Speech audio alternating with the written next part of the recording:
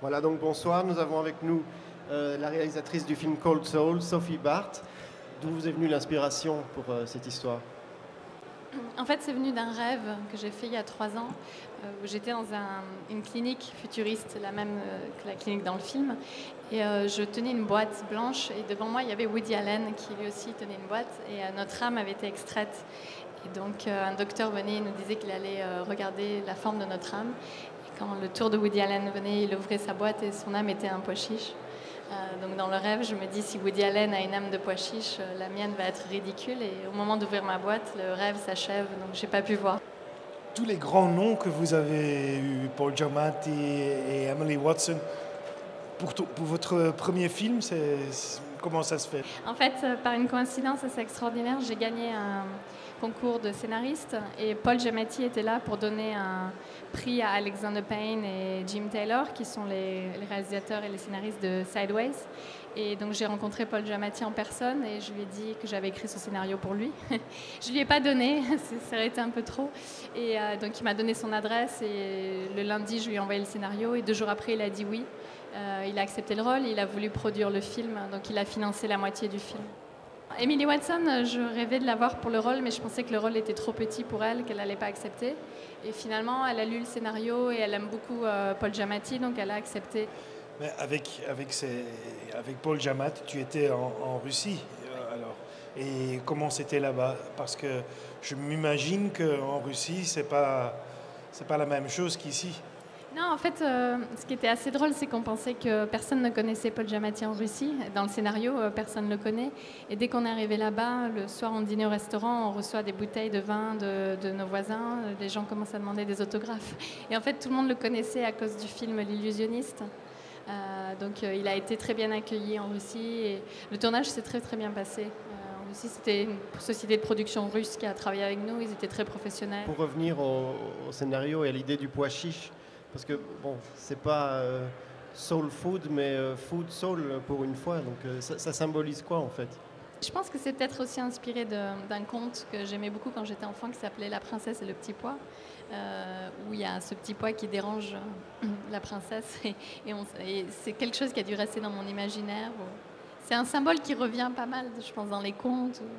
Petite question concernant euh, la préparation du, du scénario. Dans quelle mesure l'âme avait un rôle euh, sur la personnalité des gens. Et quelles ont été vos consignes à ce moment-là aux acteurs? Et comment eux se sont-ils préparés à jouer des gens qui à un moment donné n'avaient pas d'âme ou l'âme de quelqu'un d'autre? Oui, en fait, le, film est très inspiré de, des théories psychanalytiques de Carl Jung. Parce que quand j'ai fait le rêve, je lisais le livre euh, L'homme à la recherche de son âme. Et je pense que ce livre a inspiré. Et, je, venais juste de voir le film de Woody Allen, Sleeper.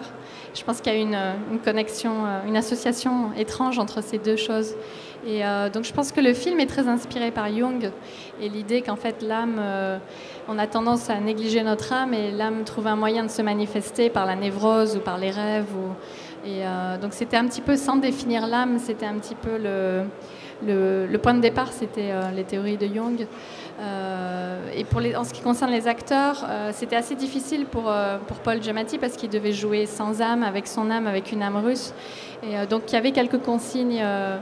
En fait, on a décidé de façon arbitraire que quand, il n'avait pas d'âme, il, il ne ressentait plus rien, comme s'il avait pris trop de Prozac ou euh, quelque chose qui bloque sa sensibilité.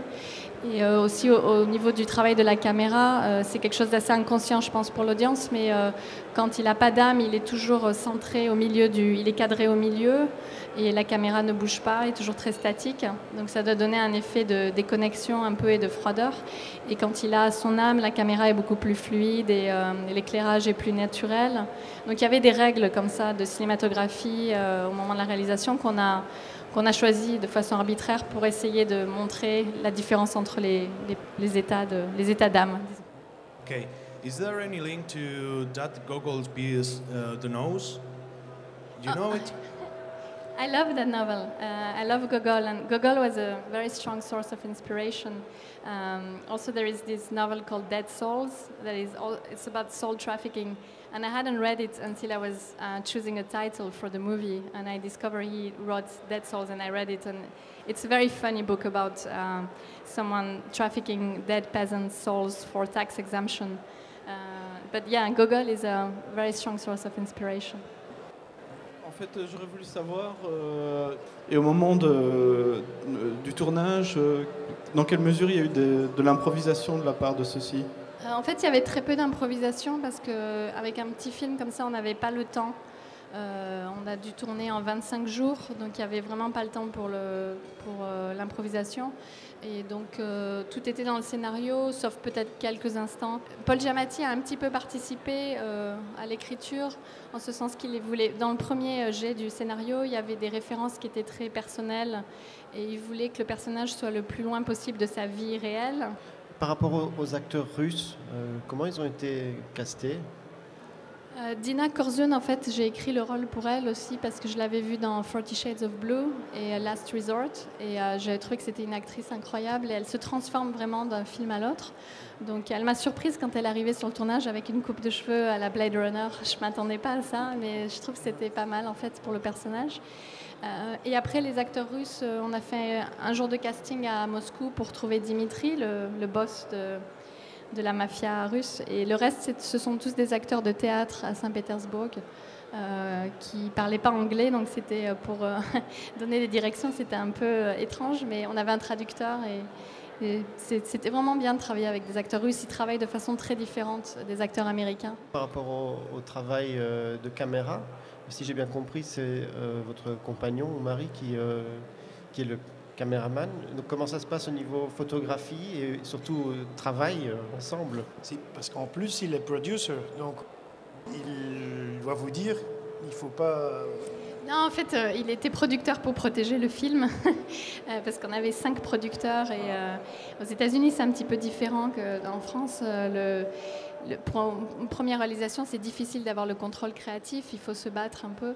Donc, euh, le fait que qu'André soit un des producteurs, ça, ça a permis de protéger euh, la vision du film. Et euh, notre collaboration, en fait, remonte à. Ça fait six ans qu'on vit ensemble et il a tourné. il a fait la photographie de mes deux courts-métrages.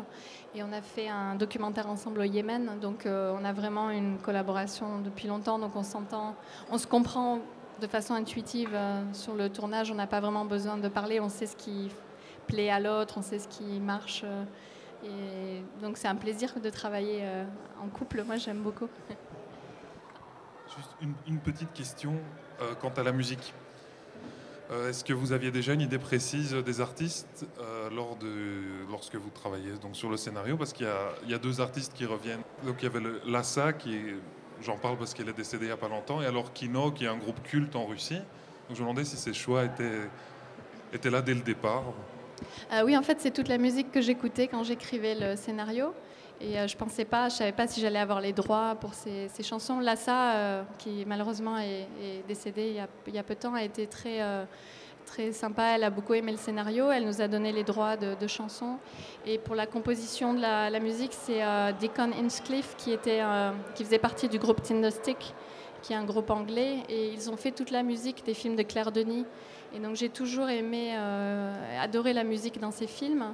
Et euh, j'espérais qu'ils allaient accepter. Et j'ai eu de la chance. Deacon a dit oui. Il a, composé la musique originale.